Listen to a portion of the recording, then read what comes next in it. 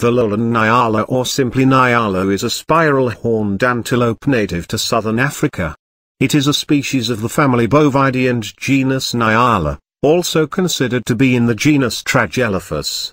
It was first described in 1849 by George French Angas. The body length is 135 to 195 centimeters, 53 to 77 in and it weighs 55 to 140 kilograms, 121 to 309 pounds.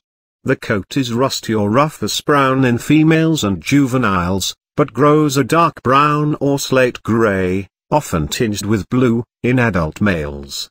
Females and young males have 10 or more white stripes on their sides. Only males have horns, 60 to 83 centimeters, 24 to 33 in, long and yellow-tipped. It exhibits the highest sexual dimorphism among the spiral-horned antelopes.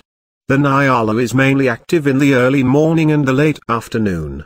It generally browses during the day if temperatures are 20 to 30 degrees Celsius, 68 to 86 degrees Fahrenheit, and during the night in the rainy season. As a herbivore, the Nyala feeds upon foliage, fruits and grasses, with sufficient fresh water. A shy animal, it prefers water holes rather than open spaces.